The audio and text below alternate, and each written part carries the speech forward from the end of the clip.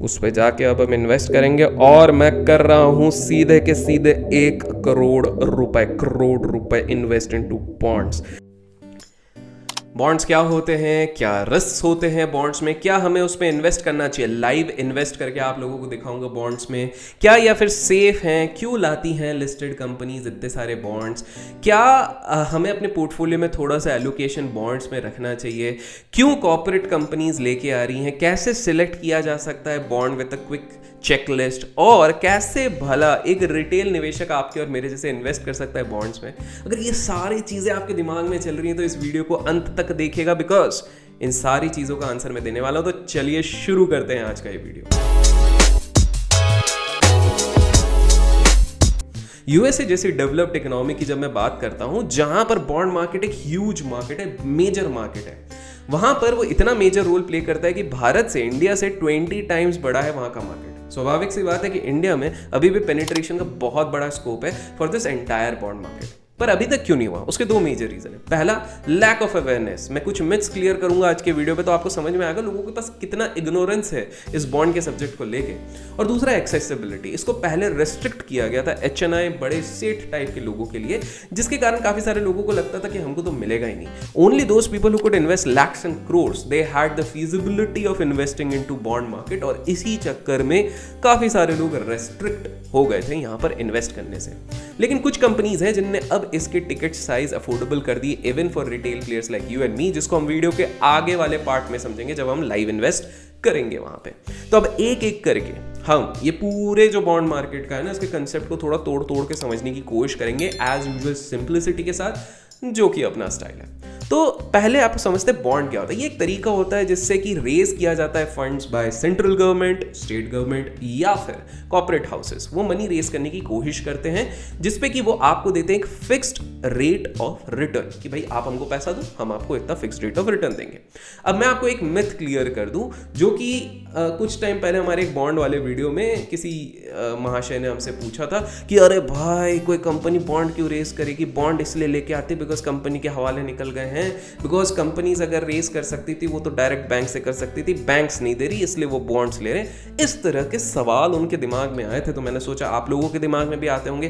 तो let's just clear it ताकि आपको समझ में आए कि कितना ज़्यादा इग्नोरेंस और लैक ऑफ़ इन्फॉर्मेशन है। Well to make the concept very clear मैं आपको बता दूँ कि companies like Tata Motors H D F C bank Reliance Axis bank etcetera regularly ये अपने बॉन्ड्स इशू करते हैं। तो क्या इसका मतलब ये है कि ये सारी सड़ी कंपनीज़ हैं? इनके पास पैसे नहीं, इनके हवाले निकल गए। ऑब्वियसली बिकॉज़ इनके टिकट साइज़ थोड़े बड़े होते हैं तो मोस्टली इन पे सब्सक्राइब करने वाले H N mutual fund fund houses ये सारे ले पाते हैं। लेकिन इसका मतलब ये थोड़ी है कि इनके हवाले निकल गए।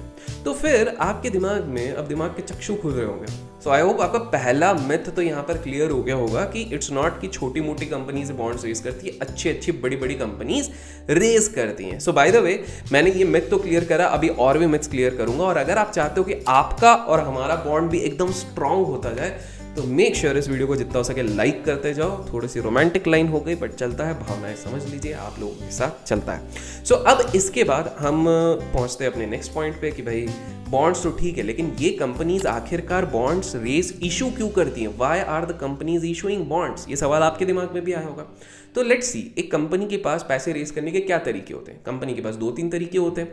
फ़र्स्ट तरीका होता है कि यार सीधे बैंक से लोन ले ले। अब लोन लेने के चक्कर में क्या होता है कि कंपनीज़ को एक rate of return rate of interest देना पड़ता है लोन की जगह पे, जो यूजुअली थोड़ा हायर साइड पे होता है, जो एक लाइबिलिटी बन जाता है कंपनीज़ के लिए। दूसरा होता है इक्विटी बेच दो इक्विटी पब्लिक को बेच दो तो उससे इक्विटी डाइल्यूट हो जाएगी ओनरशिप डाइल्यूट हो जाएगी। कोई भी प्रॉमिसिंग बिजनेसमैन ये ज़्यादा नहीं चाहता है।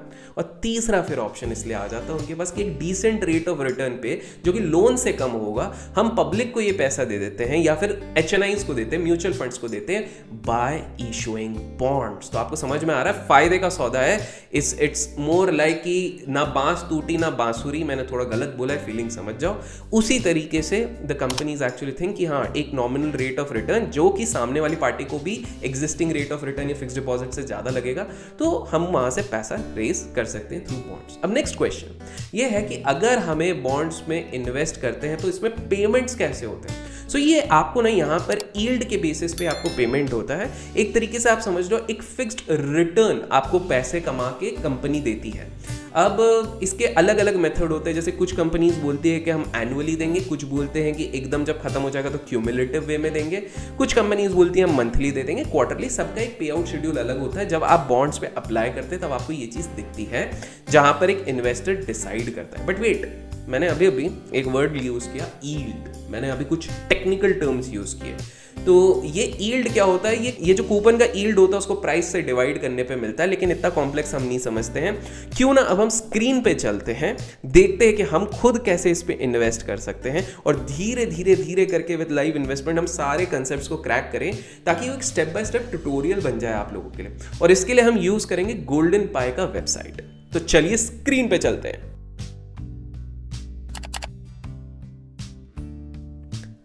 सो so, हम आ गए हैं गोल्डन पाई के वेबसाइट पे। बाय द वे मैं आपको बता दूँ ये नंबर वन प्लेटफॉर्म है in terms of investing for bonds जहाँ पर 4000 करोड़ से भी ज़्यादा के बॉन्ड्स ऑलरेडी अवेलेबल हैं। एंड बहुत सारे हज़ारों करोड़ों के ट्रांजैक्शंस ऑलरेडी इस प्लेटफॉर्म पे हो चुके हैं। अच्छा बाय द वे ये खुद इशू नहीं करते हैं बॉन्ड्स को। ये सिर्फ़ प्रोवाइड करते हैं एक प्लेटफॉर्म टू वेरियस कॉपरेट्स जो कि अपना बॉन्ड रेस करना चाहते हैं। अब आपके दिमाग में ये सवाल होगा कि भाई, फिर ये हमसे पैसा नहीं ले रहे तो पैसा कहाँ जा रहा है? कुछ तो कैच है तो आपको बता दो, आपसे कुछ पैसा नहीं लिया जाता है। ये डायरेक्ट जो कंपनीज़ होती है ना, उनसे ले लेती हैं। तो आपको सबसे पहले तो जैसे आप नॉर्मल लॉगिन कर लोगे, आपका नॉर्मल डिटेल डाल के नाम, ये, वो, उसके बाद आप अपना के पहले कंप्लीट कर लीजिए। तो अभी जैसे के में आपको क्या बिल्कुल नॉर्मल से आपको रहेगा कि पहले आपका पैन कार्ड अपलोड करोगे कि भाई ये मेरा पैन कार्ड है। पैन कार्ड अपलोड करने के बाद वो आपको बोलेगा अपना आधार कार्ड या कुछ भी आप आईडी प्रूफ के बेसिस पे कर लीजिए तो आप अपना आधार कार्ड कर लेंगे। उसके बाद मतलब ये जैसे एक बेसिक जो होता है ना, जिस तरह के अपन बैंकिंग डिटेल्स के लिए, वो सारी चीज़ें, उसके बाद अपनी एक प्यारी सी आप फ़ोटो डाल दोगे। फ़ोटो अपलोड होने के बाद ये मतलब बिल्कुल स्टेप बाय स्टेप आराम से ईजी इंटरफेस है। जो आपको पूरी तरीके से गाइड कर देगा। इसके बाद ये आपको पूछेगा, आपका जो भी बैंक अकाउंट आपको लिंक करना है, उसके बैंक अकाउंट बैंक अकाउंट के detail with the IFC code मांगेंगे। और उसके बाद आपसे ये पूछेंगे कि आप अपना डीपी आईडी और फिर क्लाइंट आईडी डालो। ये आपको आसानी से, आपका जिसका भी डीमैट होगा जेरोदा है अपस्टॉक से जो भी है, आप सीधे उनके प्रोफ़ाइल पे जाओगे, वहाँ से आपको डीपी आईडी आपको आराम से मिल जाएगी एट डिजिट की। तो वो आपको यहाँ पर डालनी रहती है बिकॉज़ आपके जो बॉन्ड्स आने वाले हैं, वो इधर ही आने वाले हैं। और उसके बाद जैसे कि आपको विद इन अ डे आपको इनकी सपोर्ट टीम जो वर्किंग डे रहेगा, वो आपको कनेक्ट करेगी और आपको हेल्प आउट कर देगी इस चीज़ पे। तो ये तो हो जाएगा के अब उसके बाद आप इनके वेबसाइट पे जैसे ही आओगे तो आपको दिखेगा बहुत सारे यहाँ पर ऑलरेडी कलेक्शन है डिस्कवर बॉन्ड्स है तो करंट आई आपको दिख जाएँगे। बाय द वे दोस्तों इक्विटी के आईपीओ तो मिलते नहीं है, पर यहाँ पर first come first serve basis पे आईपीओ मिल जाते हैं बॉन्ड के। तो आप देख सकते हो, यहाँ पर काफ़ी सारे बॉन्ड्स यहाँ पर लिस्टेड है। इंडिया बुल हाउसिंग के आई एफ़ होम्स के हैं होम फाइनेंस के हैं। तो आपको दिख रहा होगा कि यहाँ पर काफ़ी सारे बॉन्ड्स लिस्टेड और लेफ़्ट साइड में आप देखिए कि यहाँ पर bonds monthly income high safe bonds tax free bonds state government bonds guarantee bonds and भी काफ़ी सारे बॉन्ड्स है। बाय द वे अगर आप चाहते हो कि मैं एक वीडियो बनाऊँ जिसमें टाइप्स ऑफ़ बॉन्ड्स पे आराम से मैं आपको एक्सप्लेन कर दूँ। तो कमेंट्स में लिखेगा, बचपन का प्यार, जितने बचपन के प्यार होंगे, उतने जल्दी वीडियो आएगा। अब एक एक करके इसके फटाफट अपन टर्म स्क्रीन पे देखते हैं। ईल्ड मतलब इतना रेट ऑफ़ रिटर्न आपको मिलेगा पेमेंट मतलब आपको कितने टाइम में मिलेगा, और टेन्योर मतलब कितना बड़ा है, और ये रेटिंग है। ये रेटिंग बहुत इंपॉर्टेंट होती है। मेरे हिसाब से डबल ए के नीचे का आपको लेना नहीं चाहिए। ये दैट इज़ माई प्रेफरेंस अब जैसे कि हम इधर गए इंडिया हाउसिंग फाइनेंस तो आप यहाँ पर देख सकते हैं कि यहाँ पर आपको बताया हुआ इन्वेस्टमेंट अमाउंट क्या है। ईल्ड क्या है, कितने मंथ्स के लिए आपको रखना पड़ेगा अच्छा कितने मंथ्स और पे आउट का जो चीज़ रहता है, वो बेसिकली ये रहता है कि अगर मान लो आप मंथली लेते हो तो मंथली में आपको जो पेमेंट होगा, वो हर मंथ होगा। अगर आप क्वार्टरली लोगे तो हर क्वार्टर होगा ईयरली लोगे तो ईयरली होगा, और क्यूमुलेटिव लोगे तो एक साथ जब बॉन्ड खत्म हो जाएगा, तब। मैं पर्सनली मंथली या फिर क्वार्टरली लेता हूँ, इससे मुझे एटलीस्ट एक आइडिया रहता है दैट जो बॉन्ड मुझे पे कर रहा है, वैसे तो ठीक है सेफ़ है, इतना ज़्यादा रिस्क नहीं है बट मेरा रिस्क मिटिगेट हो जाता है कि चलो मेरा पैसा आते जा रहा है, मेरे को रेट ऑफ़ रिटर्न आते जा रहा है। तो थोड़ा सा साइकोलॉजिकली माइंड में शांति रहती है नथिंग एल्स यहाँ पर आप देख सकते हो कि डेट क्वालिटी पे आपको कुछ चीज़ें दिखेंगी। फॉर एग्ज़ाम्पल सिक्योरिटी जो यहाँ पर लिखा है बॉन्ड इज़ सिक्योर्ड सीनियोरिटी मतलब यहाँ पर एक समझिए कि इन केस वर्स्ट केस लेके चलते कि बॉन्ड डिफ़ॉल्ट हो गया तो सीनियोरिटी में इसको पहला प्रेफरेंस मिलेगा। मतलब सबसे पहले आप लोगों को लाइबल होंगे पेमेंट के, जो भी लिक्विडेशन के बाद बाद पैसा मिलेगा। आपको पहले सीनियर हो आप। सीनियर को हमेशा पहला प्रेफरेंस मिलता है तो आपको मिलेगा। एंड लिस्टेड का बताया। प्लस कुछ की हाईलाइट्स बताए हुए हैं। जहाँ पर कि बताया कि लेट्स टेक एन एग्ज़ाम्पल आपने टेन लाख रुपीज़ इन्वेस्ट किए तो मंथली इंटरेस्ट आपका seven thousand four hundred and eight का आएगा। ना लेफ़्ट साइड राइट साइड में आप देखिए कैश फ्लो भी आपको बताएगा कि अगर आप टेन थाउज़ेंड रुपीज़ इन्वेस्ट करते हो तो किस प्रकार से आपको होगा। और ये एक बहुत इंटरेस्टिंग चीज़ है, जहाँ पर आप फिक्स डिपॉजिट्स के साथ आपका जो रिटर्न होता, उसको कंपेयर कर पाओगे। तो मैं तो इसको, देखिए नॉर्मल फिक्स डिपॉजिट से देखने से बेटर है कि हम अगर इसको देखते हैं कि भाई टैक्स एडजस्टेड क्या रिटर्न निकलता है।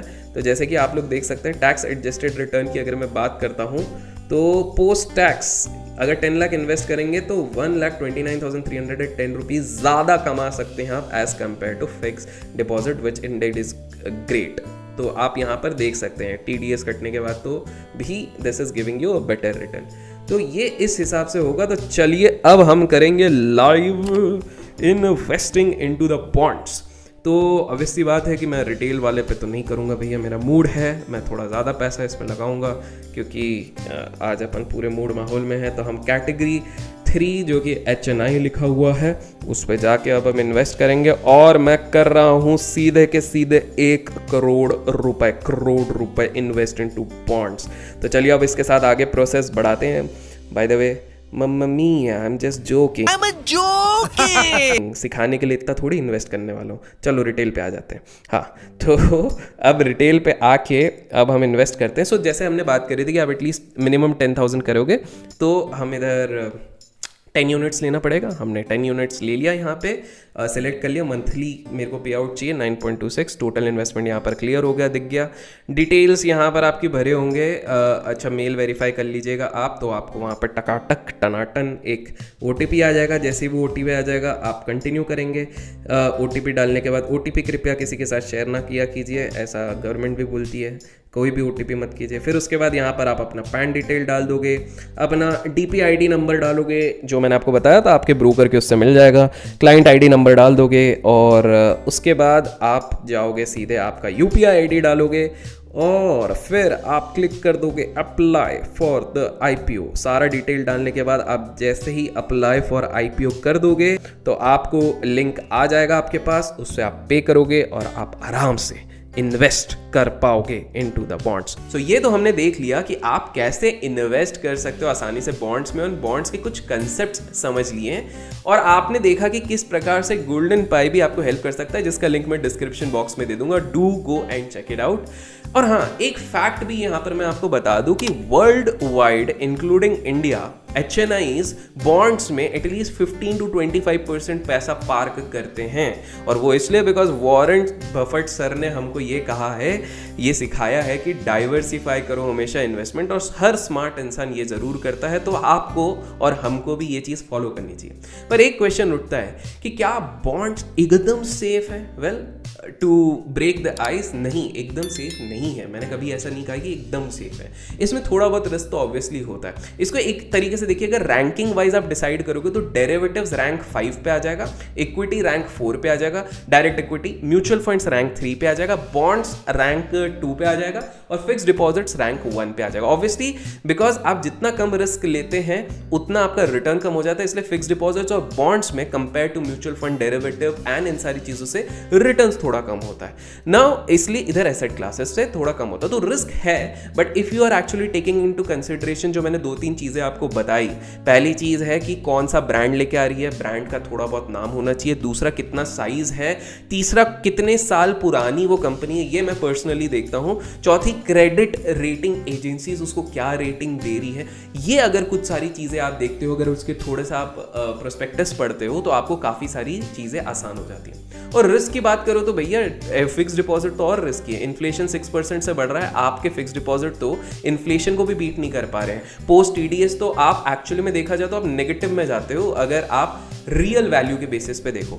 और जैसे देखिए आप स्टॉक मार्केट में भी रिस्क होते हैं। फॉर एग्ज़ाम्पल स्टॉक मार्केट में चाहे H D F C bank और रिलायंस जैसी अच्छी कंपनीज़ हैं, वहीं डीएचएफएल जैसी कंपनी या वीडियोकॉन जैसी कंपनीज़ भी रह चुकी हैं। लाइक वाइज बॉन्ड मार्केट में भी कभी कभी ऊपर नीचे एक आधे केसेस होते हैं। इसका मतलब ये नहीं है कि पूरा बॉन्ड मार्केट खराब है। अगर बॉन्ड मार्केट खराब होता तो बड़े बड़े म्यूचुअल फंड्स एच ये सब इधर इन्वेस्ट नहीं करते। तो आप ये देखिए कितनी पुरानी कंपनी है रेटिंग एजेंसीज क्या दे रही है? और मेरे हिसाब से एक और ऐड कर लीजिए कंफर्टेबल पे आउट जैसे कि आपने मेरे को देखा, मैंने मंथली पे आउट वाला लिया। इससे ना मुझे थोड़ा सा एक माइंड में एक सर्टेनिटी रहती कि यार चलो टाइम टू टाइम में पे आउट कर है मतलब सब सब सही है। अचानक से अगर पे आउट रुक जाएगा तो सीधे जाके मैं रिडीम भी कर सकता हूँ कि यार दो महीने हो गए, अभी तक क्यों नहीं आया? तो ये वाली मेरे सेंस ऑफ़ सिक्योरिटी है। तो गाइस आशा करता हूँ आज की इस वीडियो से आपको बॉन्ड मार्केट सिंपल तरीके से, पूरी तरीके से समझ में आ गया होगा।